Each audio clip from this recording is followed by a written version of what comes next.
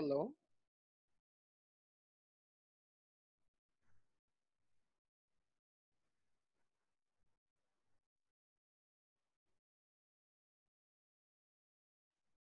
Hello? হ্যাঁ sir কেমন আছেন স্যার? আলহামদুলিল্লাহ ভালো আছি। আপনারা কেমন আছেন? হ্যালো? জি স্যার ভালো আছে স্যার। বাকিরা কোথায়? হ্যাঁ স্যার ভালো আছে। হ্যাঁ বাকিরা কোথায়? স্যার আসতেছে। বাক আসতেছে স্যার। আপনাদের দেরি মানে দশ মিনিট আমি ওয়েট করায় রাখলাম। না সমস্যা সমস্যা নেই। যে কারণে ওয়েট করাইছি সে কারণটা সমাধান হয় নাই। ক্লাস শুরুর দশ মিনিট আগে আমার দশ পনেরো মিনিট আগে একটা জিনিস চোখে পড়ল যে জিনিসটা আমি বুঝতেছি না। আমি পনেরো মিনিট বুঝার চেষ্টা করলাম হয়তো ব্রেনই প্রপারলি ফাংশন করতেছে না জিনিসটা বুঝতে পারলাম না। যাই হোক এই জিনিসটা আজকে আমি উইথড্র রাখব। হ্যাঁ পরে আবার স্টাডি করে আপনাদেরকে আমি জানাই দিব।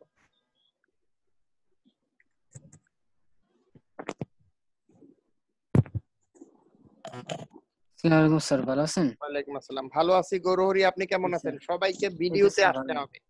সবাইকে ভিডিওতে আসতে হবে হ্যাঁ? ম্যাটেরিয়ালস গুলি কি পেয়েছিলেন? জি স্যার। ওকে। ম্যাটেরিয়ালস গুলি যদি পেয়ে থাকেন তাহলে আর কোনো সমস্যা নাই আমরা শুরু করতে পারি ক্লাস নাকি? জি স্যার। তোমা কোথায়? স্যার আসতেছে।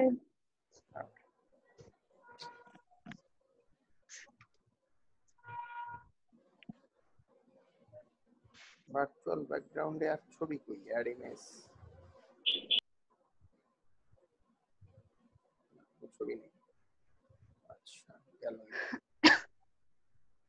আমরা একটু স্ক্রিন শেয়ারে যাই ফেসবুকে যাই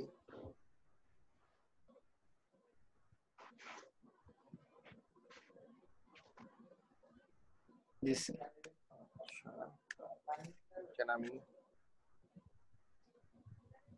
স্যার বই কিনছি স্যার আমরা সবাই বই কিনছেন জি স্যার তাহলে তো হইলই তাহলে তো হইলই আমরা তারপর এটা সামনে রাখি তাহলে আপনাদের জন্য সুবিধা হবে। জি স্যার ওকে স্যার। ঠিক আছে? স্যার পেজ কত? পেজ হচ্ছে 11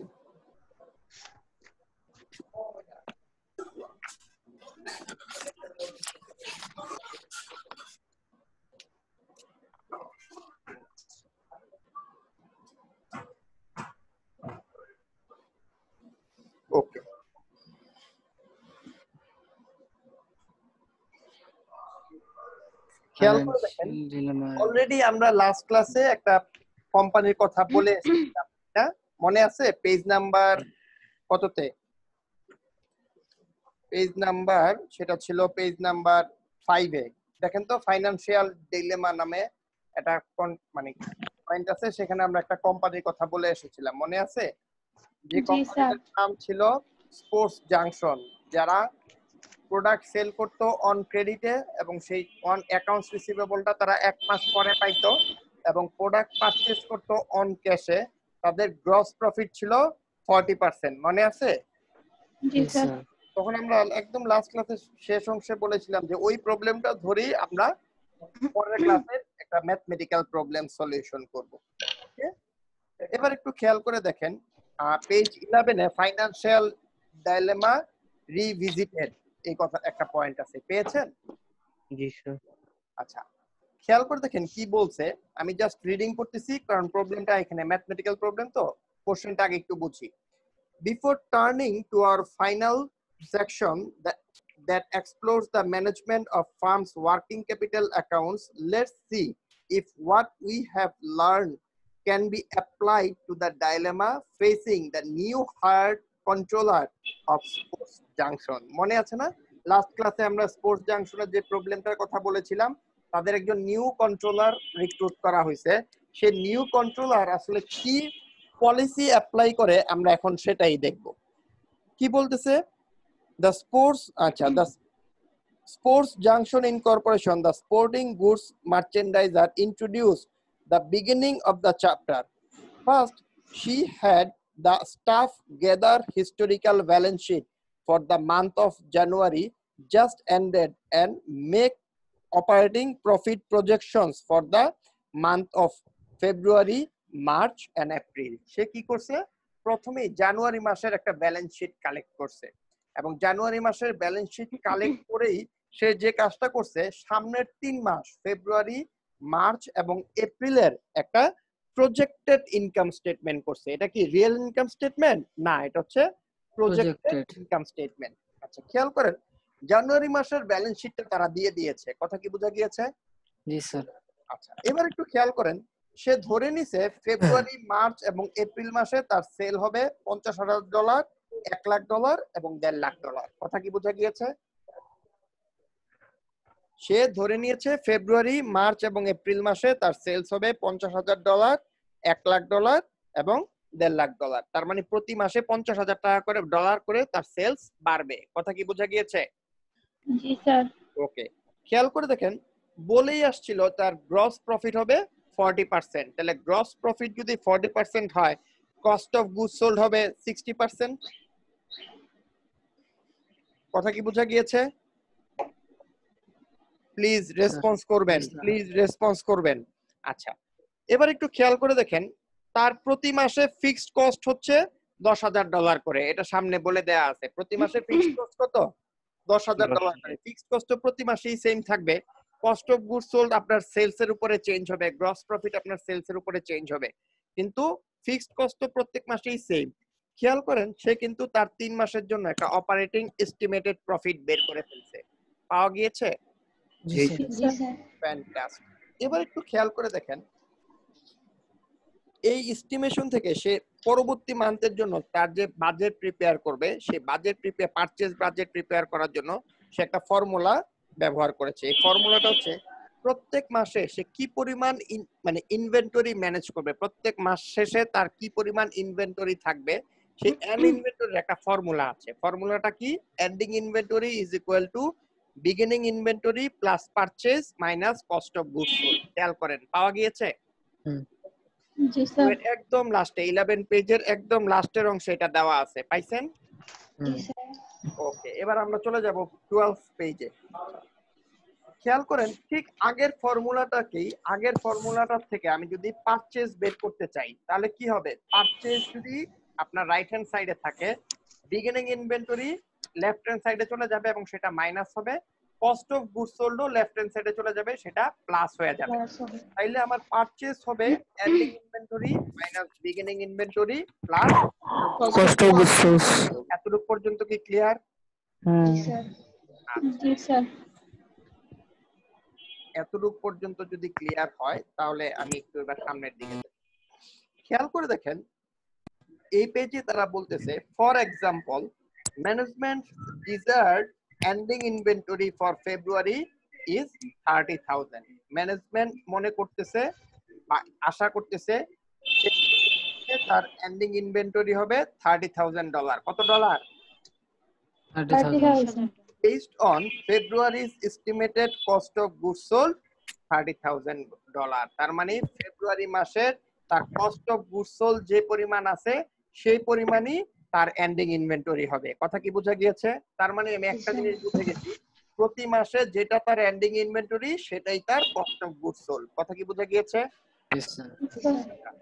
পরের লাইনটাতে বলতেছে February's beginning inventory is equal to thirty thousand dollar which is January's ending inventory তার মানে হচ্ছে ফেব্রুয়ারি মাসের যেটা বিগিনিং ইনভেন্টরি সেটা হচ্ছে জানুয়ারি মাসের এন্ডিং ইনভেন্টরি তার মানে আমি যদি জানুয়ারি মাসের এন্ডিং ইনভেন্টরিটা জানি সেটাই হবে আমার ফেব্রুয়ারি মাসের বিগিনিং ইনভেন্টরি বিগিনিং ইনভেন্টরি এতটুকু পর্যন্ত কি ক্লিয়ার জি স্যার ওকে পরবর্তী লাইনটা বলতেছে plugging this values for the variables shown in equation 1.2 তার মানে 1.2 তে আমাকে যে ফর্মুলাটা বলছে সেই ফর্মুলাটা ব্যবহার করে the result in the projected dollar amount of purchase required to maintain the targeted ending inventories level. খেয়াল করে দেখেন আমি এই ফর্মুলাটা ব্যবহার করেই প্রতি জোনে মানে প্রতি মাসে আমার কি পরিমাণ পারচেজ করতে হবে আমি কিন্তু সেটা বের করে ফেলতে পারি ঠিক না? খেয়াল করে দেখেন তো ফেব্রুয়ারি মাসের এন্ডিং ইনভেন্টরি আমাকে বলে দিছে বিগিনিং ইনভেন্টরি বলে দিছে এবং কস্ট অফ গুডস সোল্ড কত আমাকে বলে দিছে। আমি কি এখন এই ফর্মুলা ইউজ করে পারচেজ কত সেটা বের করতে পারি? জি স্যার ফ্যান্টাস্টিক দেখেন তো পারচেজটা বের করা গেছে কিনা ক্যালকুলেটর থাকলে?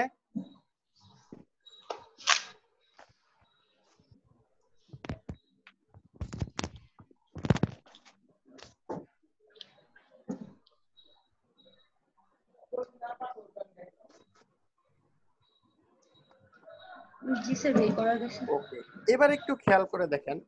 ফেব্রুয়ারি মাসের যেটা এন্ডিং ইনভেন্টরি ফেব্রুয়ারি মাসের যেটা এন্ডিং ইনভেন্টরি বলছে সেটা কি জানুয়ারি সরি সেটা কি মার্চ মাসের বিগিনিং ইনভেন্টরি হওয়ার কথা?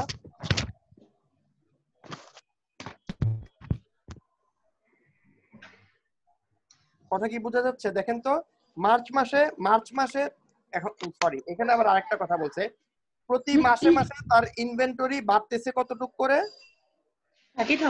Thirty thousand. করে। এবার ঠিক একই ফর্মুলা ব্যবহার করে আমি আপনি প্রত্যেকটার জন্য পারচেজ অ্যামাউন্ট বের করতে পারেন। ঠিক না? আচ্ছা এবার আমরা একটু নিচের পোর্শনটাতে চলে যাই। আমরা একটু নিচের পোর্শনটাতে চলে যাই। খেয়াল করেন প্রত্যেকটা সেশনে যেটা তার এন্ডিং ইনভেন্টরি সেটাই কিন্তু তার সরি যেটা তার এন্ডিং ইনভেন্টরি সেটাই তার কস্ট অফ গুডস সোল্ড কথা কি বোঝা গিয়েছে? ওকে ফাইন এবার আসেন পরবর্তী পোর্শনটাতে বলতেছে the companies receivables are outstanding an average of one month কোম্পানির রিসিভেবল পাইতে কতদিন সময় লাগে? এক মাস। তার মানে আপনি ফেব্রুয়ারি মাসে যে প্রোডাক্টটা বিক্রি করছেন সেই টাকাটা আপনি পাবেন হচ্ছে মার্চ মাসে। কথা কি বোঝা গিয়েছে? টাকাটা আপনি পাবেন মার্চ মাসে। মার্চ মাসে সেটা বিক্রি করছেন সেটা সে টাকাটা পাবেন কি মাসে? এপ্রিল।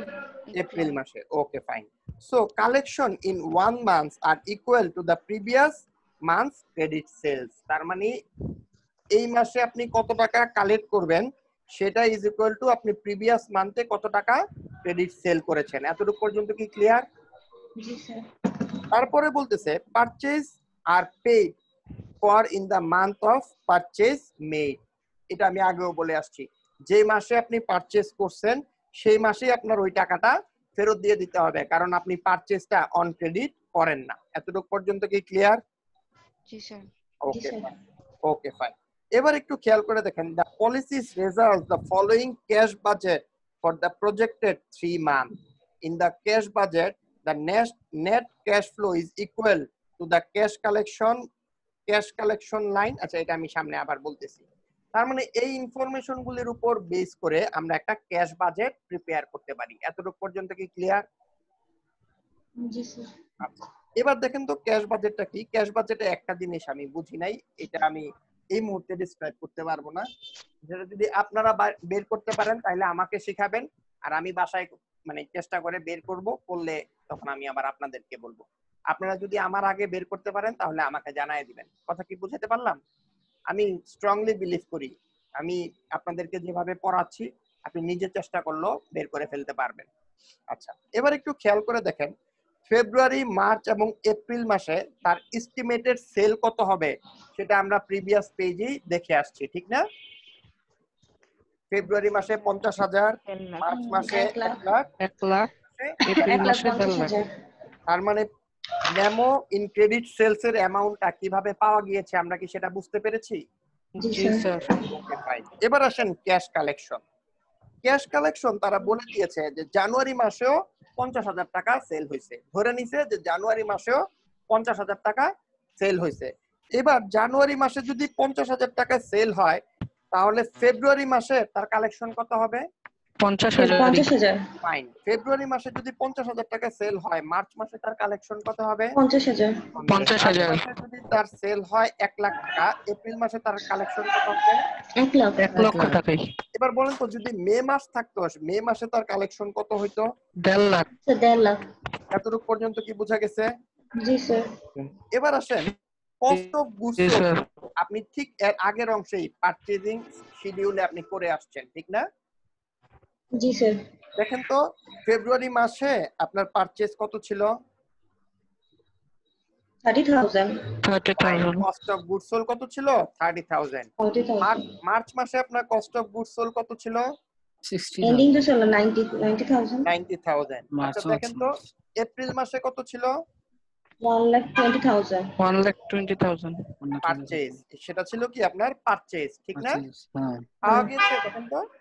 জি স্যার। জি স্যার। বুঝা গিয়েছে? আচ্ছা এবার আসেন। ক্যাশ ডিস ভার্সন হয়েছে কোন কোন জায়গায়? দেখেন পারচেজ হচ্ছে একটা ক্যাশ ডিস ভার্সন ঠিক না?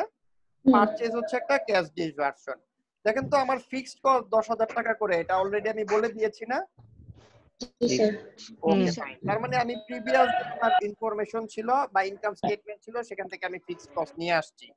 আচ্ছা এবার দেখেন তো আমার নেট ক্যাশ ফ্লো কি হবে? আমি কত টাকা কালেকশন করছি? আমি কত টাকা কালেকশন করছি? সেটা দুই নাম্বার ইনফরমেশনটাতে আছে। মাইনাস আমি কত টাকা পারচেজ করছি? সেটা আমার পাঁচ নাম্বার ইনফরমেশনে আছে। মাইনাস আমার কত টাকা ফিক্সড কস্ট দিয়েছে? কথা কি বোঝা গিয়েছে? জি স্যার ক্যাশের থেকে এক্সপেন্সগুলো মাইনাস হবে। ফ্যান্টাস্টিক ফ্যান্টাস্টিক আচ্ছা আমার নেট ক্যাশ ফ্লোটা আমি পেয়ে গেছি। এটার সাথে যোগ হবে হচ্ছে বিগিনিং ক্যাশ এটার সাথে যোগ হবে কি? বিগিনিং ক্যাশ দেখেন যেটা যেটা ফেব্রুয়ারি মাসের এন্ডিং ক্যাশ সেটাই কিন্তু সরি যেটা মার্চের বিগিন যেটা জানুয়ারির এন্ডিং জানুয়ারির এন্ডিং ফেব্রুয়ারি বিগিনিং যেটা জানুয়ারির এন্ডিং ক্যাশ সেটাই কি? ফেব্রুয়ারি ফেব্রুয়ারির বিগিনিং ক্যাশ দেখেন তো জানুয়ারির এন্ডিং ক্যাশ কত ছিল ব্যালেন্স শিটে ক্যাশ ছিল sir seventy thousand seventy thousand এতটুকু পর্যন্ত কি ক্লিয়ার জি স্যার। ওকে ফাইন এখন আমার প্রবলেম হচ্ছে আমি মার্চ এবং এপ্রিলে এইটি থাউজেন্ড আর থার্টি থাউজেন্ড কীভাবে বের করতে সেটা বের করতে পারিনি। কথা কি বোঝা গিয়েছে? স্যার এখানে কি নেট ক্যাশ ফ্লো যেমন সেভেন্টি থাউজেন্ড প্লাস ছিল মানে নেট ক্যাশ ফ্লোটা ফেব্রুয়ারি ছিল স্যার টেন থাউজেন্ড তো স্যার বিগিনিং ক্যাশের সাথে কি এটা প্লাস করে এইটি থাউজেন্ড করছে? আহ, করতে পারি। ইয়েস ইয়েস ইয়েস চলে আসছে। দুইটা যোগ করে দুইটা যোগ করে এখানে চলে আসছে এইটি থাউজেন্ড কথা কি স্যার তা হ্যাঁ তো স্যার এপ্রিলে থার্টি থাউজেন্ড কেন? এপ্রিলে স্যার ওই যে ওটা মাইনাস ফিগার ছিল। আচ্ছা থ্যাংক ইউ দেখেন আমি জাস্ট দুই মিনিট আগে আপনাদেরকে এই কথাটা বলেছিলাম। এটা আপনারাও বের করতে পারবেন কারণ আমি আপনাদেরকে প্রিপেয়ার করেছি ওইভাবে। আমার কথাটা কি মিলেছে? হুম। স্যার Just এতটুক জিনিসের উপরে আমি বেস করে বলি যে আমার বাচ্চারা যখন রিয়েল লাইফে যাবে তারা ভালো করতে পারবে। কারণ আমি যখন তাদেরকে প্রিপেয়ার করি হাতে কলমে ধরে ধরে প্রিপেয়ার করি। খেয়াল করে দেখেন না মানে একদম অন ক্লাস এটা আপনারা প্রুফ করে দিচ্ছেন এটা আমিও কিন্তু দশ পনেরো মিনিট ধরে লাস্ট দশ মিনিট ধরে আমিও চেষ্টা করতেছিলাম। আমার ব্রেনটা আসলে তখন হয়তো প্রপারলি কাজ করে না আচ্ছা এতটুকু পর্যন্ত কি বোঝা গিয়েছে? জি স্যার। জি স্যার এবার আসেন। Sir cash. কালেকশনটা আবার বলেন। ক্যাশ কালেকশন জি স্যার। ক্যাশ কালেকশন যেন কোনটা মা? ক্যাশ বাজেট স্যার দুই নাম্বার। হ্যাঁ নাম্বার ক্যাশ কালেকশন হচ্ছে আমি ধরে নিছি জানুয়ারি মাসে আপনার সেল হচ্ছে পঞ্চাশ হাজার। তাহলে এই জানুয়ারির পঞ্চাশ হাজার আপনি কবে পাবেন? ফেব্রুয়ারিতে। এই যে কোশ্চেন করছে তাকে উত্তর দিতে দেন। জি স্যার ফেব্রুয়ারিতে পাবো। আচ্ছা ফেব্রুয়ারি মাসে সেল করছেন পঞ্চাশ হাজার। এই টাকাটা কবে পাবেন? মার্চে পাবো। মার্চে সেল করছেন এক লাখ। এটা কবে পাবেন? ওইটা এপ্রিলে ও সেজন্য এক লাখ হয়েছে। হ্যাঁ। আচ্ছা এপ্রিলেরটা কবে পাবেন? মেতে পাবো।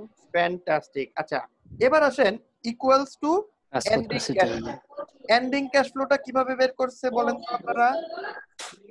Net cash flow plus beginning cash flow cash flow plus beginning cash flow is equal to ending cash flow এতটুকু কি বোঝা গিয়েছে?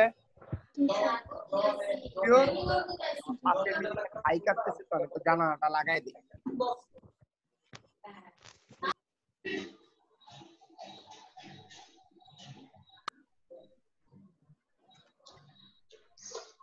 এখন কি একটু আওয়াজটা কম আসতেছে। আজকে একটা উদ্ভট দিন গেছে। আমি সকালে উঠে দেখি আমার মোটর নষ্ট হয়ে গেছে। মোটর তো না মোটরের আসলে সুইচ নষ্ট হয়েছে। তারপর ওইটা দেখি আমার ওয়াইফাই এর তার কেটে নিয়ে গেছে। হ্যাঁ তারপর দেখি আমার ওয়াইফাই এর তার কেটে নিয়ে গেছে। এখন ক্লাস করাইতে বসছি, এই সিম্পল জিনিস আমার মাথায় ঢুকতেছে না। আল্লাহ আকবার। যাক।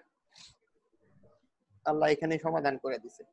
আচ্ছা এবার আসেন পেজ থার্টিনে যাব দেখেন, আমরা কিন্তু ক্যাশ বাজেট করে ফেলছি। আমার কাছে যদি একটা পারচেজ শিডিউল থাকে, বা আমার হাতে যদি একটা ব্যালেন্স শিট একটা ইনকাম স্টেটমেন্ট আর একটা পারচেজ শিডিউল থাকে আমি কিন্তু অনায়াসে আমার ক্যাশ বাজেট প্রিপেয়ার করে নিতে পারি। এবার ক্যাশ বাজেটটা যখন আমার প্রিপেয়ার হয়ে গেছে আমি আগামী তিন মাসের জন্য একটা প্রজেক্টেড ব্যালেন্স শিটও প্রিপেয়ার করে নিতে পারি। কথা কি বোঝা গিয়েছে? তাহলে এবার দেখেন আমার ব্যালেন্স শিটে অ্যাসেট পার্টে আমার ক্যাশ কত হবে আমি কিন্তু অলরেডি সেটা বের করে আসছি ঠিক না? স্যার এন্ডিং ক্যাশটা হ্যাঁ এন্ডিং ক্যাশটা আশি হাজার তিরিশ হাজার আর জিরো জিরো এতটুকু পর্যন্ত কি সবাই বুঝতে পারছেন? জিরো জি স্যার শিওর তো? জি স্যার আচ্ছা এবার একটু দেখেন অ্যাকাউন্টস রিসিভেবল কোনটা হবে? স্যার ওই যে ফিফটি থাউজেন্ড ক্রেডিট স্যারটা ছিল। হ্যাঁ। আমি যেটা সেল করছি প্রতি মাসে আমি যেটা সেল করছি সেটাই সে মাসের অ্যাকাউন্টস রিসিভেবল জি স্যার ঠিক না? তাহলে আমি ফেব্রুয়ারি মাসে কত টাকা সেল করছি? Fifty thousand. পঞ্চাশ হাজার। হ্যাঁ মার্চ মাসে কত টাকা সেল করছি? ওয়ান ল্যাক ওয়ান ল্যাক এক লাখ। এপ্রিল মাসে কত টাকা সেল করছি? One lakh fifty thousand. One fifty lakh fantastic এবার দেখেন তো ইনভেন্টরি এবার দেখেন ইনভেন্টরি প্রতি মাসে আমার যেটা কস্ট অফ গুড সোল ছিল সেটাই কি? আমার ইনভেন্টরি প্রতি মাসে আমার যেটা কস্ট অফ গুড সোল ছিল সেটাই কি? আমার ইনভেন্টরি ঠিক না? বা প্রতি মাসে আমার যেটা এন্ডিং ইনভেন্টরি ছিল সেটাই কি আমার ইনভেন্টরি প্রতি মাসে আমার যেটা এন্ডিং ইনভেন্টরি ছিল সেটাই কি আমার ইনভেন্টরি হ্যাঁ এটাই হবে স্যার মনে হয়। এন্ডিং ইনভেন্টরিটাই হবে। প্রতি মাসে যেটা আমার এন্ডিং ইনভেন্টরি ছিল সেটাই আমার ইনভেন্টরি তাহলে আমি তিনটা জিনিস পাইলাম। একটা হচ্ছে ক্যাশ একটা হচ্ছে অ্যাকাউন্টস রিসিভেবল আর একটা কি? ইনভেন্টরি ব্যালেন্স শিটের ইনভেন্টরি ব্যালেন্স শিটের একটা পার্ট শেষ হয়ে গেল ঠিক না? আচ্ছা, আমি কি অন ক্রেডিটে কোনো প্রোডাক্ট পারচেজ করি? না স্যার। তাহলে কি আমার কোনো অ্যাকাউন্টস পেয়েবল থাকবে? না স্যার জিরো ওকে। এবার দেখেন প্রথমেই যে ব্যালেন্স শিটটা দিয়েছে সেখানে আপনার কমন স্টকের পরিমাণ বলে দেওয়া আছে। একটু জানতো পেজ নাম্বার ইলেভেন দেখেন তো কত বলা আছে? হ্যাঁ এক লাখ পঞ্চাশ হাজার। দেড় লাখ। ফ্যান্টাস্টিক দেখেন তো সেটাই সরাসরি এখানে এসে বসছে। জি স্যার। আচ্ছা দেখেন তো। স্যার কোনটা স্যার? একদম যে স্যার কমন স্টক হ্যাঁ হ্যাঁ দেওয়া ছিল যে কমন স্টক আচ্ছা এবার একটু দশ। নাম্বার পেজে আসেন আপনার ফেব্রুয়ারি মাসে এস্টিমেটেড প্রফিট কত ছিল? স্যার দশ নম্বর পেজে হ্যাঁ এগারো এগারো নাম্বার পেজে ফেব্রুয়ারি মাসে আপনার এস্টিমেটেড প্রফিট কত ছিল? দশ দশ হাজার। হাজার মার্চ মাসে? তিরিশ হাজার। এপ্রিল মাসে? পঞ্চাশ হাজার। এবার এগুলি যদি আপনি রিটেইন আর্নিং এ বসান ফেব্রুয়ারি মাসে দশ হাজার দশ হাজারই রয়েছে। সেটা এসে যখন মার্চ মাসে যোগ হয়েছে তিরিশ যোগ দশ কত হয়েছে চল্লিশ। চল্লিশ হাজার। হাজার। আচ্ছা সেটা যখন আবার যোগ হবে এপ্রিল মাসের হ্যাঁ, কত হবে? নব্বই হাজার। ফ্যান্টাস্টিক এবার আসেন নিচে কি দুইটা কথা বলছে একটু খেয়াল করেন। It's not hard to see that controller does indeed have dilemma reconsider the basic objectives of managing the operations of a company. দুইটা, কি অবজেক্টিভ কি ছিল? Managing the cost structure to generate the profit মানে আছে, আমার objective ছিল। এক number ছিল কস্ট স্ট্রাকচার জেনারেট করা। দুই নাম্বার ছিল manage the working capital accounts so that the adequate liquidity is always on hand কথা মনে আছে? লাস্ট ক্লাসে আমি বলেছিলাম। এক নাম্বার কাজ হচ্ছে আমার কস্ট স্ট্রাকচার ডেভেলপ করা। দুই হচ্ছে ওয়ার্কিং ক্যাপিটাল ম্যানেজমেন্টটা প্রপারলি করা। সো দ্যাট আমার হাতে এনাফ লিকুইড অ্যামাউন্ট থাকে। ঠিক এই কাজটাই এখানে হয়েছে। এতটুকু পর্যন্ত কি বোঝা গিয়েছে? শিওর এতটুকু পর্যন্ত কোনো প্রবলেম আছে? না। আচ্ছা এতটুকু পর্যন্ত যদি প্রবলেম না হয় অঙ্কের শুরু এখানেই। অঙ্কের শুরু এখানেই। এবার একটু খেয়াল করে দেখেন। এই ইনফরমেশনগুলোর উপর বেস করে করে আমি তিন মাসের জন্য তিনটা ক্যাশ ফ্লো বাজেট করব। এই ইনফরমেশন গুলির উপর বেস করে করে আমি তিন মাসের জন্য তিনটা ক্যাশ ফ্লো বাজেট করব। তাহলে আমার এস্টিমেটেড তিন মাস কোন তিন মাস? গরহরি? জানুয়ারি ফেব্রুয়ারি নো ফেব্রুয়ারি মার্চ মার্চ এপ্রিল। February March April. আমি ফেব্রুয়ারিটা বলতেছি মার্চ এপ্রিল দেখবেন আপনারাই পারবেন। একটা ভালো করে বুঝেন বাকি দুইটা আপনারাই পারবেন। আচ্ছা খেয়াল করে দেখেন তো ফেব্রুয়ারি মাসে আমার সেলস কত ছিল? পেজ ফোরটিন পঞ্চাশ হাজার ছিল। ফেব্রুয়ারি মাসে আমার সেলস ছিল কত? পঞ্চাশ হাজার। পাওয়া গেছে পেজ ফোরটিনে জি স্যার। আচ্ছা সেলস এর পর আমার দুইটা যে আইটেমটা আসে সেটার নাম হচ্ছে কস্ট অফ গুডস সোল্ড সেটা কি? কস্ট অফ করছ Good. Good sold cost of যখন অকার করে তখন ইনভেন্টরি আমার একটা অ্যাসেট সেটা বাড়ে আর অ্যাকাউন্টস পেয়েবল আমার যে একটা অ্যাসেট সেটা কমে। এতটুকু পর্যন্ত কি বোঝা গিয়েছে? আচ্ছা এবার দেখেন চেঞ্জ ইন অ্যাকাউন্টস পেয়েবল যে ফিগারটা আসবে চেঞ্জ ইন অ্যাকাউন্টস পেয়েবল যে ফিগারটা আসবে সেটা আমার ওরে বাবা রে বাবা সেটা আমার ক্যাশ অ্যামাউন্টটার থেকে বা সেলস অ্যামাউন্ট থেকে বিয়োগ দিব। সেটা আমার সেলস অ্যামাউন্ট থেকে আমি কি দিব? হ্যাঁ ডিডাক্ট করব। আর চেঞ্জ ইন ইনভেন্টরি যে অ্যামাউন্টটা আসে সেটাকে আমি যোগ করব। সেটাকে আমি কি করব? যোগ। আচ্ছা যোগ করব। এবার দেখেন তো আমার চেঞ্জ ইন ইনভেন্টরি কত আসছিল একটু দেখি আমরা। চেঞ্জ ইন ইনভেন্টরি মার্চ মাসে কত ছিল? মার্চ মাসে কত ছিল? তিরিশ হাজার ছিল। মার্চ মাসে ছিল তিরিশ হাজার। আচ্ছা সরি এটা তো ফেব্রুয়ারির জন্য। এটা তো ফেব্রুয়ারির জন্য। আচ্ছা, ছিল ষাট চব্বিশ নব্বই। নব্বই আর এখানে কত ছিল? ওকে ফাইন তিরিশ হাজারই স্যার তিরিশ হাজার তিরিশ হাজারই স্যার হ্যাঁ, তাহলে আমি ডিরেক্ট তিরিশ হাজার এখানে বসাই দিছি। কি বোঝা গিয়েছে? জি স্যার এবার আসেন দুইটা আমি কি করতেছি?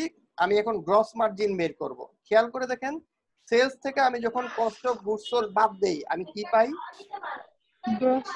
গ্রস। মার্জিন তাহলে আমার সেলস অ্যামাউন্ট কত ছিল? সেলস অ্যামাউন্ট কত ছিল? আচ্ছা কস্ট অফ গুডস সোল্ড কত ছিল? তাহলে পঞ্চাশ হাজার থেকে থার্টি থাউজেন্ড বাদ দিলে কত পাই? বিশ হাজার। এবার আসেন এখান থেকে আমি বাদ দিব কি? অপারেটিং এক্সপেন্স দিব কি? অপারেটিং এক্সপেন্স দশ হাজার। এক্সপেন্সে আমার operate expense change in actuals যে ভ্যালুটা আসবে সেটা আমি ডিডাক্ট করব। সেটাকে আমি কি করব? ডিডাক্ট করে এখন আমি কি আমার এখানে কি কোনো অ্যাকচুয়ালস ছিল? আমি কি অন ক্রেডিটে কিছু পারচেজ করেছি? আছে না তাহলে আমার এখানে কিছুই হবে এবার দেখেন তো ডেপ্রিসিয়েশন যে অ্যামাউন্টটা থাকবে সে অ্যামাউন্টটাও আমি ডিডাক্ট করব। সে অ্যামাউন্টটা আমি কি করব? ডিডাক্ট করব। এখানে একটা কথা বলে দিছে। Cash paid in operating expense তারা কত দিছে? দেখেন আমার কিন্তু কোনো ডেপ্রিসিয়েশন নাই আছে? আমার কিন্তু কোনো ডেপ্রিসিয়েশন নাই। কিন্তু আমার অপারেটিং এক্সপেন্স আছে দশ হাজার টাকা। অপারেটিং এক্সপেন্স কত? দশ দশ হাজার। হাজার এবার খেয়াল করেন তো আমার অপারেটিং প্রফিট কত আসছে?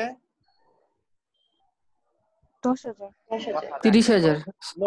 নো অপারেটিং অপারেটিং প্রফিট বিশ হাজার থেকে দশ হাজার বাদ গেছে।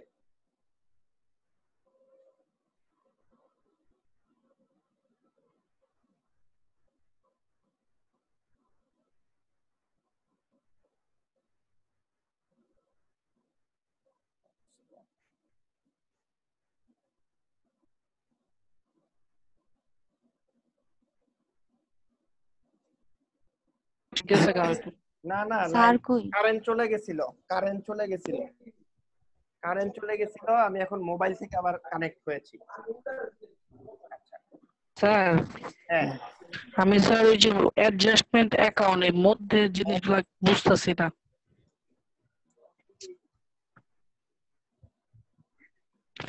হ্যাঁ বলেন। স্যার ওই যে অ্যাডজাস্টমেন্ট অ্যাকাউন্ট মিডলে যেগুলো দেওয়া আছে ইনফরমেশনগুলা, এগুলো স্যার বুঝতেছি না। আচ্ছা আবার বলি। খেয়াল করে দেখেন, এই ইনফরমেশন গুলি হচ্ছে আপনার ব্যালেন্স শিট বা ইনকাম স্টেটমেন্টে ইনকাম স্টেটমেন্টে খেয়াল করেন, এই ইনফরমেশন গুলি পাই আমরা হচ্ছে কম্পারেটিভ ইনকাম স্টেটমেন্ট থেকে বা কম্পারেটিভ ব্যালেন্স শিট থেকে।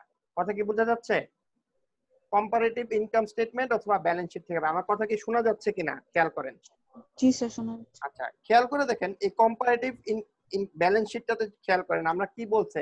চেঞ্জ ইন অ্যাকাউন্টস রিসিভেবল বা change in cost of goods sold কথাটার অর্থ হচ্ছে মার্চ এবং ফেব্রুয়ারি মাসে আমার কস্ট অফ গুডস সোল্ড বা ইনভেন্টরি বা অ্যাকাউন্টস পেয়েবলে যে চেঞ্জটা আসবে যেখানে নেগেটিভ ফিগার আছে সেটা আমরা বিয়োগ করব যেটা পজিটিভ ফিগার আছে সেটা আমরা যোগ যোগ করব। কথা কি বোঝা যাচ্ছে জি স্যার যেটা নেগেটিভ ফিগার আছে সেটা আমরা বিয়োগ করব। যেটা পজিটিভ ফিগার আছে সেটা আমরা যোগ করব। কথা কি বোঝা গেছে? একটু খেয়াল করেন আপনি পরবর্তী মার্চ এবং এপ্রিল মাসেরটা করেন তাহলে দেখবেন আপনার বুঝ- মানে ব্রেন খুলে গেছে। মার্চ এবং এপ্রিল।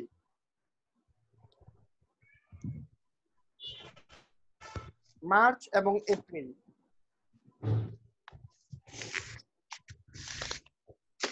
তা মার্চ মার্চ এবং এপ্রিল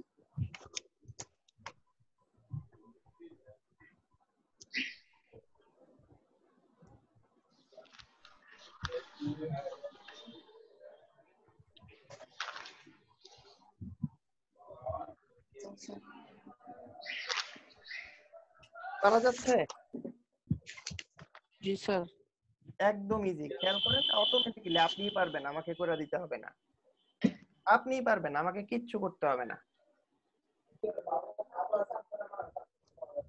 একটা করেন মার্চ মাসটা করেন এপ্রিলটা আপনি বাসায় করবেন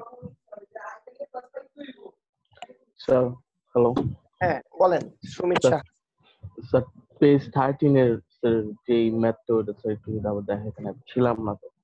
একটু যদি মানে কি আমি এই অংশ পড়ায় চলে আসছি আপনি এখন আবার পিছনের জিনিস বলতেছেন তাহলে আমি সামনের গুলি পড়াবো কখন? স্যার এটা তো রেকর্ডিং করা আছে স্যার ওই হ্যাঁ আমি রেকর্ডিং দিয়ে দিব আমি রেকর্ডিং দিয়ে দিব। যেটা আমি পড়ায় চলে গেছি আপনি পরে আইসা বলতেছেন পিছনের জিনিস রিভিউ করতে। তাইলে কীভাবে হবে? আচ্ছা তাহলে স্যার রেকর্ডিং হ্যাঁ। আচ্ছা ধন্যবাদ আচ্ছা। মার্চ মাসেরটা কি পারা যাচ্ছে? জি স্যার। সৌরভ সৌরভ। করোনা পারা যাচ্ছে তো? জি স্যার এপ্রিল মাসেরটা আপনারা বাছাই করবেন। এবার আমরা চলে আসব পেজ সিক্সটিনে পেজ সিক্সটিন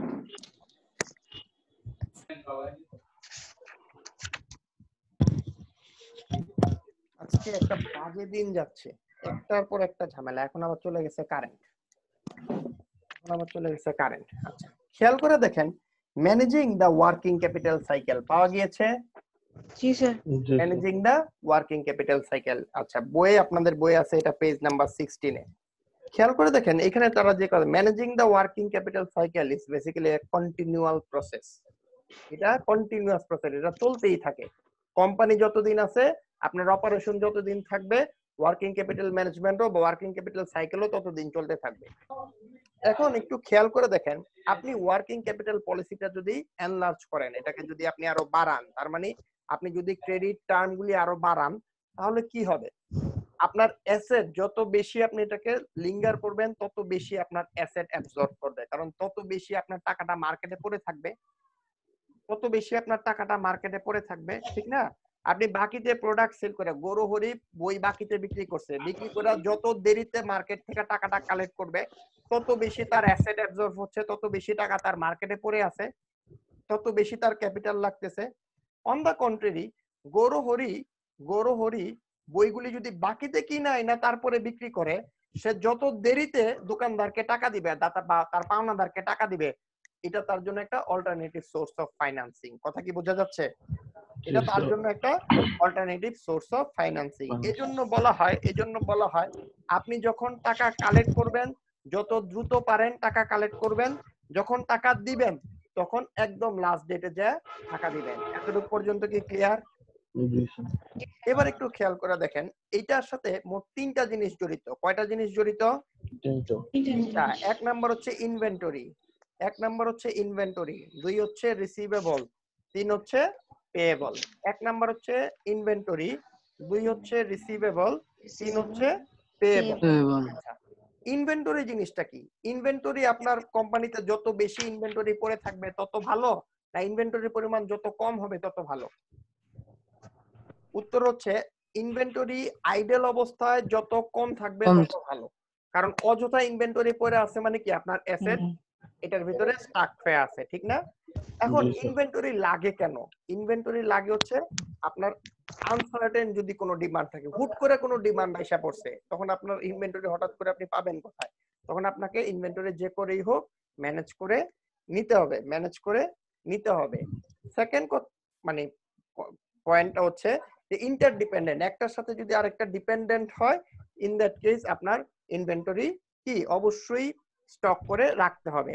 চার নাম্বার হচ্ছে প্রোডাকশন এন্ড সাপ্লায়ার যে আপনি জানেন না, আপনার সাপ্লায়ার আপনাকে চাইলে সময় নিচ্ছে সময় নিচ্ছে। ওই সমস্ত কেসেও ইনভেন্টরি আপনাকে কিছুটা স্টাক করে রাখতে হয়। এখন ইনভেন্টরি যেহেতু আপনার দরকার, আপনি যদি এমন কোনো পলিসি এমন কোনো পলিসি ডেভেলপ করতে পারেন, যে পলিসিটার কারণে আপনার এখানে কম ইনভেস্টমেন্টে যত সম্ভব মিনিমাম ইনভেস্টমেন্টে আপনার ইনভেন্টরিটা আপনি ম্যানেজ করতে পারেন। যে যত বেশি এফিশিয়েন্ট পলিসি ইন্ট্রোডিউস করতে পারবে, তার কোম্পানির প্রফিটেবিলিটি তত বেশি হবে। জাপানিরা একটা সিস্টেম ডেভেলপ করছে যে সিস্টেমটার নাম হচ্ছে জাস্ট ইন টাইম মূলত টয়োটা কোম্পানি এই একটা স্ট্র্যাটেজি দিয়ে মার্কেট জি স্যার। এটা পড়ছিলাম স্যার। বলা হয় জি স্যার এটার উপর। এ- এটার উপর স্যার অ্যাসাইনমেন্টও করছি স্যার। প্রেজেন্টেশনও দেওয়া ছিল। প্রেজেন্টেশনও দেওয়া ছিল এটা। সুপার খেয়াল করে দেখেন খেয়াল করে দেখেন। জাস্ট ইন টাইম পলিসি বলতেছে আপনার যখন যে মুহূর্তে ইনভেন্টরি লাগবে আপনি অর্ডার দিবেন খুশ করে ইনভেন্টরি চলে আসে। হ্যাঁ মাঝখানে কিছু সময় লাগে সেটাকে আমরা লিড টাইম বলি এবং সেই লিড টাইমটা হচ্ছে একদম মিনিমাম লিড টাইম এতটুকু পর্যন্ত কি ক্লিয়ার জি স্যার। এতটুকু পর্যন্ত কি ক্লিয়ার ওকে ফাইন সুসংবাদ হচ্ছে কারেন্ট আসছে ফ্যান আচ্ছা এবার একটু খেয়াল করে দেখেন এবার একটু খেয়াল করে দেখেন। সেকেন্ড পয়েন্ট হচ্ছে আমার রিসিভেবল সেকেন্ড পয়েন্ট আমার কি ছিল? এখন খেয়াল করেন রিসিভেবল কখন ক্রিয়েট হয়? রিসিভেবল কখন ক্রিয়েট হয়? যখন দেওয়া হয়। সেল করি। হ্যাঁ? আমরা হ্যাঁ। মাঝে মাঝে দুষ্টামি করে বলি যে ডিভোর্স কখন হয়? যখন বিয়ে হয়। বিয়ে না হলে ডিভোর্স হবে না হবে? হ্যাঁ। অ্যাকাউন্টস রিসিভেবল যখন আপনি প্রোডাক্ট বিক্রি করবেন তখন হবে এবং সেটা যদি বাকিতে বিক্রি করেন তখন হবে। এখন প্রবলেম হচ্ছে কেউ কি বাকিতে বিক্রি করতে চায় প্রোডাক্ট কেউই বাকিতে প্রোডাক্ট বিক্রি করতে চায় না। চায় না। এখন কেউ যদি বাকিতে প্রোডাক্ট বিক্রি করতে না চায় তারপরেও মানুষ কেন বাকিতে প্রোডাক্ট বিক্রি করে? উত্তর হচ্ছে বাকিতে যখন আপনি পারচেজ করবেন তখন আপনি বেশি পারচেজ করবেন। That means people sales on credit just to sell more বেশি বিক্রি করার জন্য সে বাকিতে সেল করে। এক নাম্বার কথা। দুই নাম্বার কথা হচ্ছে বাকিতে যখন আপনি প্রোডাক্ট বিক্রি করবেন তখন মানুষ ঠেকায় পড়ে আপনার কাছ থেকে পারচেজ করবে। তখন আপনি তার কাছ থেকে বেশি প্রাইস চার্জ করতে পারবেন। কথা কি বোঝা গেছে? তখন আপনি তার কাছ থেকে বেশি প্রাইস চার্জ করতে পারবেন। তার মানে হচ্ছে যখন আপনি অন ক্রেডিটে সেল করতেছেন তখন আপনার প্রফিট মার্জিন বাড়তেছে। কিন্তু এখানে একটা কথা আছে। বাকিতে যারা প্রোডাক্ট কিনে তারা সব সময় কি আপনাকে টাইমলি প্রোডাক্টের টাকাটা ফেরত দেয়? না। না তার মানে এখানে কিছু রিস্ক অ্যারাইজ করতে পারে। এখন আপনি কি সবাইকে বাকি দিবেন? নো। স্যার তার মানে আপনি যখন লোকটাকে বাকি দিবেন এটা আইডেন্টিফাই করাও একটা চ্যালেঞ্জ সাধারণত এটার জন্য আমরা ফাইভ সি পলিসি ফলো করি। কি ফলো করি? প্রথম সিটা হচ্ছে ক্যারেক্টার প্রথম সিটা হচ্ছে ক্যারেক্টার দ্বিতীয় সিটা হচ্ছে ক্যাপাসিটি তিন নাম্বার সি হচ্ছে কোলাটারাল চার নাম্বার সি হচ্ছে ক্যাপিটাল পাঁচ নাম্বার সি হচ্ছে কন্ডিশন। আবার বলি character capacity collateral collateral capital capital এবং কন্ডিশন. কন্ডিশন। কন্ডিশন। কন্ডিশন। আর character capacity collateral capital condition. Collateral capital ভাইভাতে hot cake question. এটা ভাইভাতে একটা হট কেক কোশ্চেন। ব্যাংক ভাইভাতে একটা হট কেক কোশ্চেন। ব্যাংকের ভাইভাতে একটা হট কেক কোশ্চেন আচ্ছা এবার একটু খেয়াল করে দেখেন। আপনারা যারা অ্যাকাউন্টিং কোর্স করে আসছেন তারা একটা টার্ম পড়ে আসছেন। Two oblique ten dot sorry two oblique ten comma net thirty এই নামটা কি শুনছেন? জি sir. Two oblique ten comma. Net thirty এটার মানে কি একটু বলেন তো? স্যার এটার মানে হচ্ছে দশ দিনের মধ্যে টাকা দিলে দুই পার্সেন্ট ডিসকাউন্ট পাবে তার মানে আদারওয়াইজ ম্যাক্সিমাম আপনি 30 দিনের মধ্যে 30 টাকাটা এর টাকাটা করতে pay হবে কিন্তু আপনি যদি 10 দিনের মধ্যে টাকা পে করে দেন আপনাকে 2% ডিসকাউন্ট আচ্ছা এবার একটু খেয়াল করে দেখেন আপনি যে 2% ডিসকাউন্ট দিলেন আপনার সেলস রেভিনিউ কি বাড়লো না কমলো? স্যার কিছু শুনতে পাচ্ছি না। আমার কথা কি শোনা যাচ্ছে না? যাচ্ছে তো স্যার স্যার। কিছু শোনা যাইতেছে না। বাকিরা কি শুনতে পাচ্ছেন? জি স্যার স্যার। জি স্যার। হ্যাঁ। সাদিয়া এখন কি শোনা যাচ্ছে? জি স্যার শুনতে পাচ্ছি। আচ্ছা। এখন খেয়াল করে দেখেন আপনি যে 2% ডিসকাউন্ট দিলেন হ্যাঁ আমরা বলছিলাম যে 2 অবলিক 10 কমা নেট 30 কথার অর্থ হচ্ছে আপনাকে 30 দিনের মধ্যে টাকা পে করতে হবে।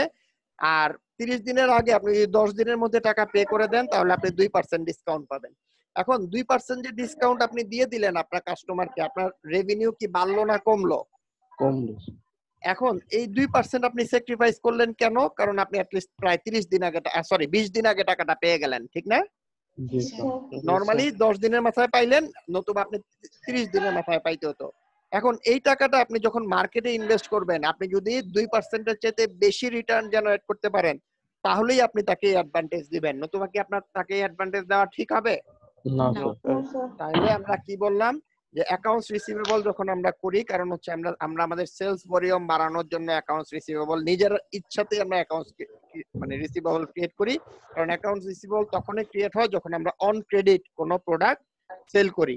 এখন যার তার কাছেই প্রোডাক্ট অন ক্রেডিটে সেল করা যাবে না অন ক্রেডিটে প্রোডাক্ট সেল করতে হলে আমাকে অবশ্যই অবশ্যই কি করতে হবে? যে কাস্টমারের কাছে আমি প্রোডাক্টটা সেল করব সেই কাস্টমার সম্পর্কে একটু যাচাই বাছাই করে নিতে হবে।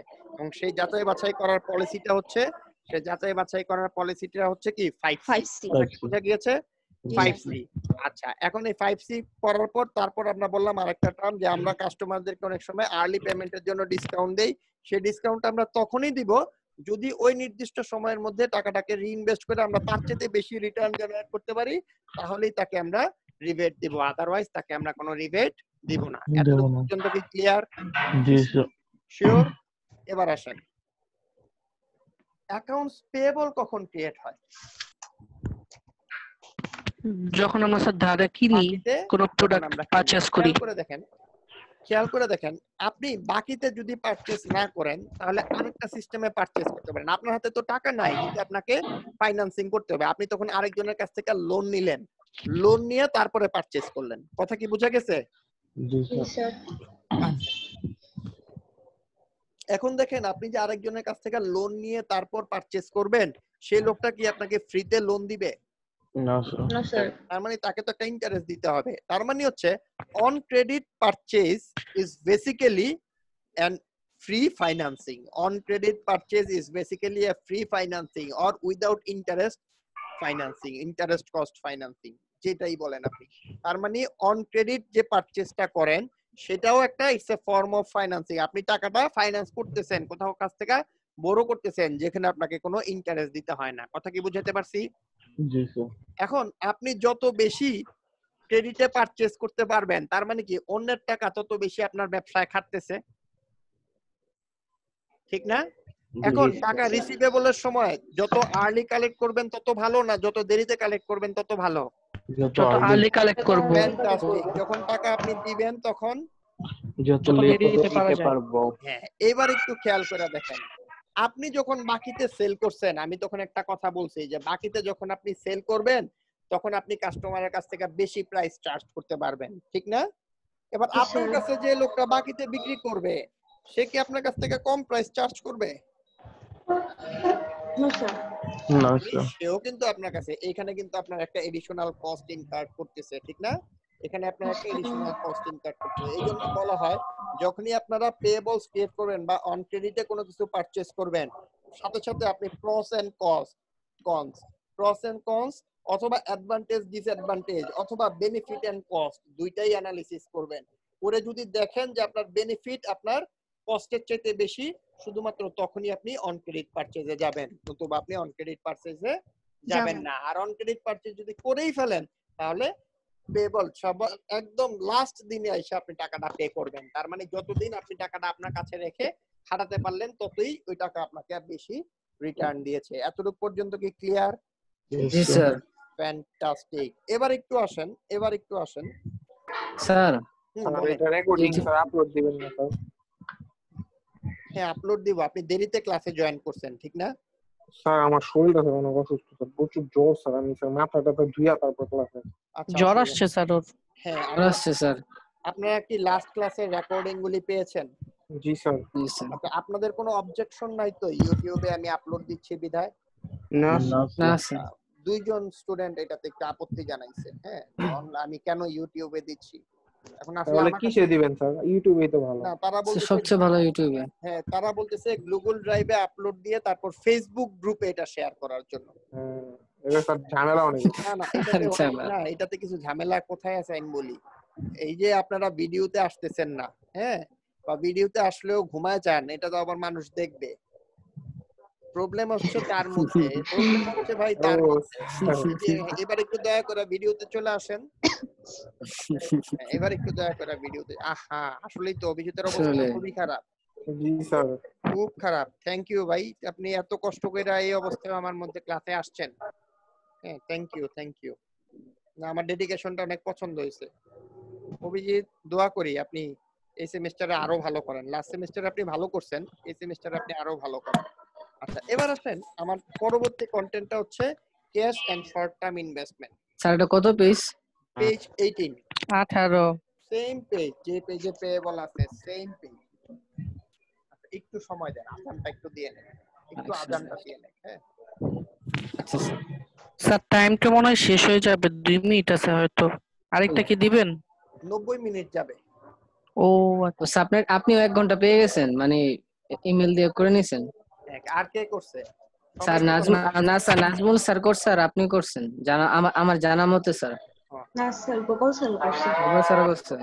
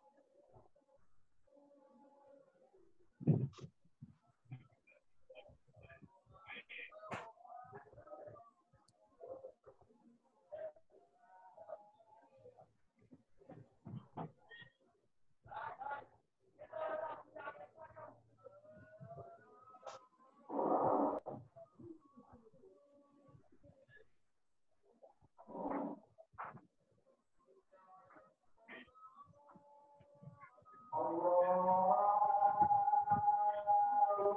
চলে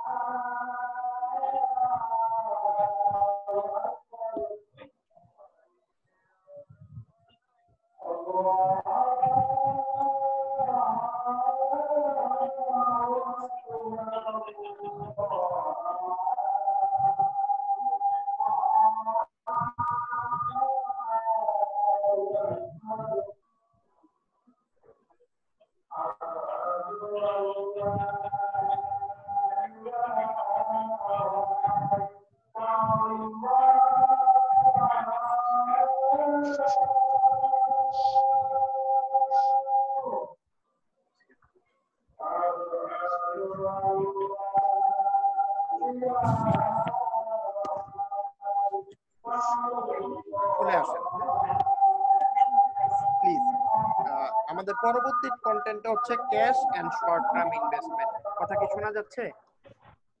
জি স্যার। আচ্ছা খেয়াল করে দেখেন ক্যাশ জিনিসটা কেন দরকার? এখানে তারা পাঁচটা রিজন বলেছে। এক হচ্ছে লিকুইড রিজার্ভ আমি একটু পড়ি আপনারা দেখেন। The working capital cycle concludes with the collection of cash at this point the cycle management must decide allocating the cash in terms কি বলতেছে? ক্যাশ কেন দরকার? এখানে চারটা রিজন বলছে। এক নম্বর রিজন হচ্ছে লিকুইডিটি রিজার্ভ এক নম্বর রিজনটা কি? লিকুইড রিজার্ভস তার মানে লিকুইড রিজার্ভ মানে কি? আপনার হাতে ক্যাশ টাকা থাকতে হবে। দুই নাম্বার কথা বলতেছে distribution to the shareholder খেয়াল করেন শেয়ার হোল্ডারদেরকে আপনারা কি ডিস্ট্রিবিউশন দেন? ডিভিডেন্ড দেন। আপনার অনেক প্রফিট হয়েছে কিন্তু আপনার হাতে ক্যাশ টাকা নাই। আপনি কি ডিভিডেন্ড দিতে পারবেন? নো স্যার আপনি ডিভিডেন্ড দিতে পারবেন না। তিন নাম্বার পয়েন্ট বলতেছে নিউ ইনভেস্টমেন্ট আপনি অনেক প্রফিটেবল ফান্ড কিন্তু আপনার কাছে ক্যাশ টাকা নাই। আপনি কি নতুন ইনভেস্টমেন্টে যেতে পারবেন? আচ্ছা চার নাম্বার হচ্ছে অ্যামোর্টাইজেশন অফ ডেট আপনারা কি অ্যামোর্টাইজেশন শব্দটার সাথে পরিচিত? 10 11 ব্যাচ পরিচিত হবে. অ্যামোর্টাইজেশন শিডিউল করাইছি। জি 10 স্যার 11 ব্যাচকে আমি অ্যামোর্টাইজেশন শিডিউল করাইছি। 9 ব্যাচ আপনার কি অ্যামোর্টাইজেশন শিডিউল এটার সাথে পরিচিত? জি স্যার। ফ্যান্টাস্টিক এবার একটু খেয়াল করে দেখেন অ্যামোর্টাইজেশন কথাটার অর্থ হচ্ছে ইনস্টলমেন্ট বেসিসে আপনি টাকা পরিশোধ করতেছেন। যে ইনস্টলমেন্টে আপনার প্রিন্সিপালও পরিশোধ হচ্ছে আবার ইন্টারেস্টও পরিশোধ হচ্ছে। এখন আপনি লোন পরিশোধ করবেন কি দিয়ে? ক্যাশ দিয়ে না নন ক্যাশ ফরম্যাটে ডেফিনেটলি তার মানে আপনার জন্য ক্যাশ ডেফিনেটলি দরকার। এরপরে তারা বলতেছে possible rational for keeping cash on the balance sheet in the form of liquid reserve include balance শিটে কিছু টাকা আপনাকে ক্যাশ ফরম্যাটে রাখতেই হবে। কেন রাখতে হবে? ফান্ডিং দ্য ডেইলি অপারেশন আপনি ডেইলি ডে টু ডে যে অপারেশন গুলি করবে, সেটার জন্য আপনার ক্যাশ দরকার। এই জন্য ম্যান্ডেটরিলি আপনাকে কিছু ক্যাশ লিকুইড ফরম্যাটে রাখতে হবে। দুই নাম্বার কথাটা বলতেছে buffering against the adverse condition তার মানে কোন একটা আনএভয়েডেবল সিচুয়েশন যদি অ্যারাইজ করেই যায়, সেই ক্ষেত্রে ক্যাশ থাকলে আপনার ওই সিচুয়েশনটা তত বেশি ইম্প্যাক্ট করতে পারবে না। যেমন আজকে সকালে যে আমার মোটর নষ্ট হয়ে গেছে আমার কাছে যদি টাকা না থাকতো আমি ইনস্ট্যান্ট ঠিক করতে পারতাম? আমার কাছে আমার সকালে এসে যখন দেখলাম যে আমার ইন্টারনেটে কেবল নিয়ে গেছে আমার যদি সাবস্টিটিউট আরেকটা জিনিস না থাকতো আমি কি রেডি করতে পারতাম? কিছুক্ষণ আগে কারেন্ট চলে গেছে আমার যদি মোবাইলে ইন্টারনেট না থাকতো আমি কি সেটা ঠিক করতে পারতাম? এই মোবাইলটা কিছুদিন আগে তার সেন্সর নষ্ট হয়ে গেছে স্ক্রিন নষ্ট হয়ে গেছে আমাকে পকেটে যদি টাকা না থাকতো আমি কি সাথে সাথে এটা দিয়ে ঠিক করে আনতে পারতাম? তার মানে day to day unwanted activity গুলি অ্যাভয়েড করার জন্য ক্যাশ ইজ ম্যান্ডেটরি তারপরে বলতেছে attracting new shareholders by serving as a marketing tool share করা দেখেন ক্যাশ এমন একটা জিনিস এটা যত বেশি থাকবে ইনভেস্টর আপনার বেশি প্রতি তত বেশি অ্যাট্রাকটিভ হবে। ঠিক আছে ক্যাশ বৈশা আছে আপনার পকেটে লিকুইড ক্যাশ এটা আপনাকে কোনো ডিম দিতেছে না এই মুরগি আপনাকে কোনো ডিম দিচ্ছে না। আপনি এটা ইনভেস্ট করতেছেন না রিটার্ন পাচ্ছেন না। কিন্তু আপনার পকেটে যে ক্যাশ আছে itself it is a marketing itself it is a marketing যখন আপনার ক্যাশ স্ট্রেংথ বেশি থাকবে ইনভেস্টররা আপনার প্রতি বেশি অ্যাট্রাকটিভ হবে and they will invest their fund finally funding the strategic acquisition আপনি যদি আরেকটা কোম্পানিকে পারচেজ করতে চান in that case cash is mandatory non cash ফরম্যাটে আপনি পারচেজ করতে পারবেন না। তাহলে কি কয়টা রিজন বললাম? এক নাম্বার রিজনটা আমি বললাম funding the Funding daily daily operation. operation. দুই নাম্বার আমি বললাম buffering against the uh sorry adverse situation.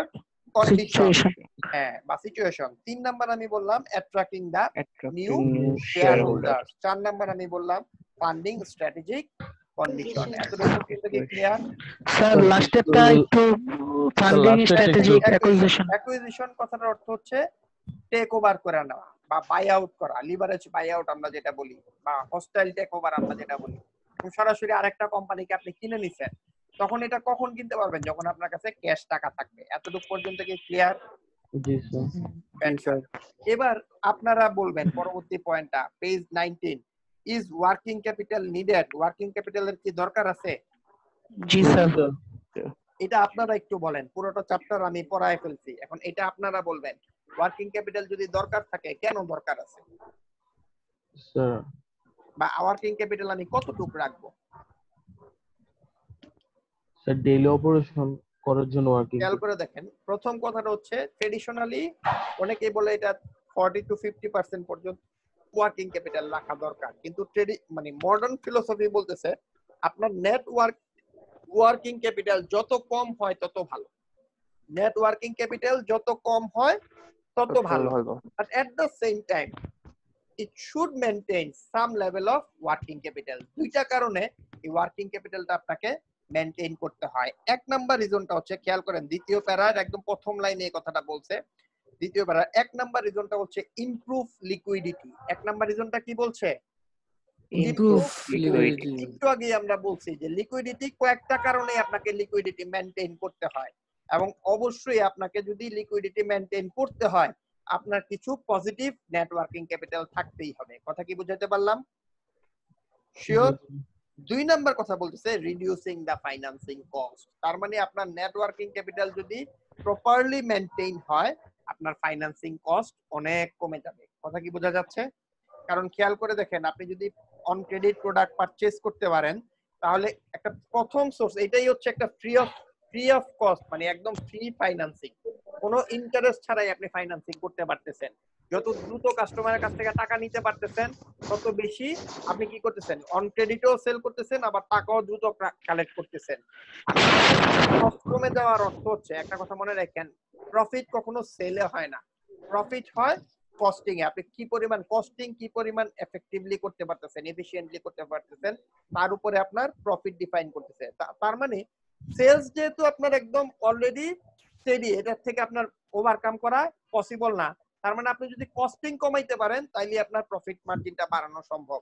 এবং efficient working capital management reduces the financing cost তার মানে কস্টের একটা মেজর পোর্শন আপনার কমে যাচ্ছে।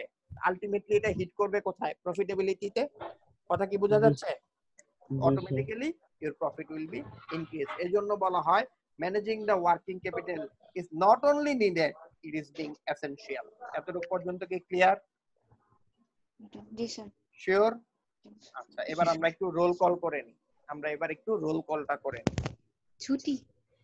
হ্যাঁ? ক্লাস কি খুব বিরক্ত লাগছে? না স্যার না না স্যার তাইলে এই শব্দটা কেন বললেন? ছুটি? স্যার আমরা তো- অনেকদিন পরে। হ্যাঁ? বুঝি নাই। স্যার অনেকদিন যাবত লাইভ ক্লাস করা হয় না তো একটা মুখ দিয়ে চলে আসছে। লাইভ ক্লাস করা হয় না মানে বুঝি নাই। স্যার ইউনিভার্সিটিতে ক্লাস করা হয় না তো ও অনেকদিন আচ্ছা আচ্ছা না না না আমরা তো মনে করি যখন ক্লাস বোরিং লাগে তখন টিচাররা অ্যাভয়েড করার জন্য বলে ছুটি ছুটি। আমার কি খুব বোরিং লাগতেছে? না স্যার। না স্যার। ক্লাস বুঝা গেছে তো না? জি স্যার অনেস্টলি বলেন না বুঝলে সরাসরি বলবেন যে এই জায়গায় বুঝতেছি না ওই জায়গায় সমস্যা হচ্ছে।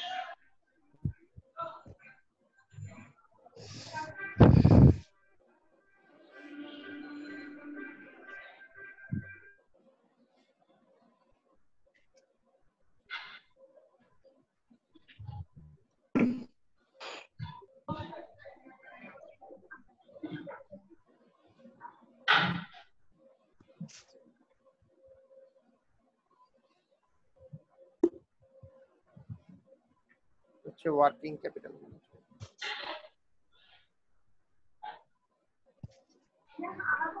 অ্যাটেন্ডেন্সটা কি স্যার অনলাইনে দেওয়া হইব?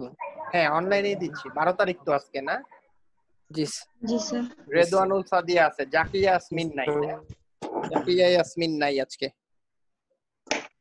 আচ্ছা সাব্বির আহমেদ আছে? নাই। অন্তরা কুন্ডু আছে সুমিত শাহ আছে মেহেদি বাবু আসছে লাস্টে। আচ্ছা মেহেদি বাবু আসছে। মেহেদি? মেহেদি মেহেদি নাই। আসসালামু হ্যাঁ, দেরিতে আসছেন? না স্যার মানে আমি তো জানি না স্যার কখন ক্লাস আমি সাড়ে তিনটা বাজে বলছিলাম ও বলছে চারটা বাজে ক্লাস স্যার আমি ঘুমাই গেছিলাম স্যার। আচ্ছা ফাতেমা জাহান Sorry, আছে রমজান রমজান আছে সৌরভ প্রতীক আছে। নন্দ কিশোর আসছে? নন্দ কিশোর না স্যার। না স্যার। না স্যার নাই। অভিজিৎ আসছে। আসছে আজিজুল্লাহ আসছে। তাইলে মিসিং হচ্ছে নন্দকিশোর সাব্বির জাকিয়া ওকে?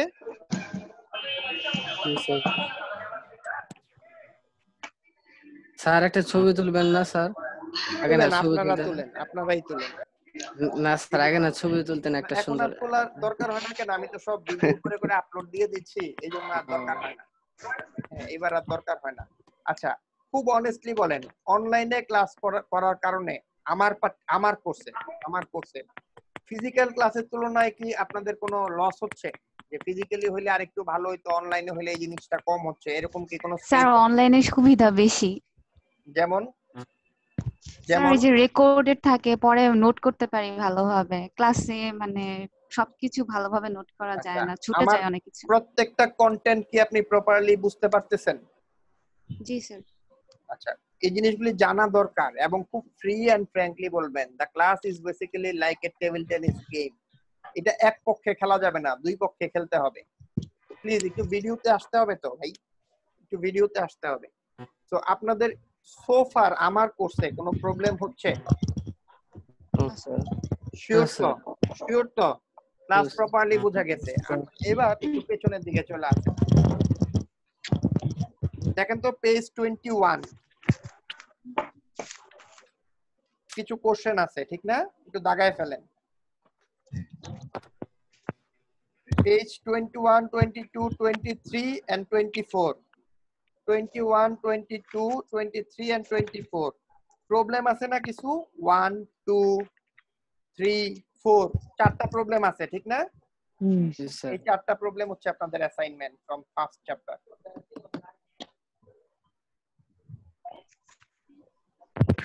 sir এই চ্যাপ্টার থেকে ওই যে স্যার ক্যাশ হ্যাঁ ক্যাশ ফ্লো ক্যাশ বাজেট তারপর হচ্ছে প্রজেক্টেড ব্যালেন্স শিট একটু পড়েন একটু পড়েন তাইলেই হবে। ডেভেলপমেন্ট ক্যাশ ফ্লো স্টেটমেন্ট শুধু ক্যাশ ফ্লো স্টেটমেন্ট করবেন। চার নাম্বার অঙ্কে শুধু ক্যাশ ফ্লো স্টেটমেন্ট করবেন।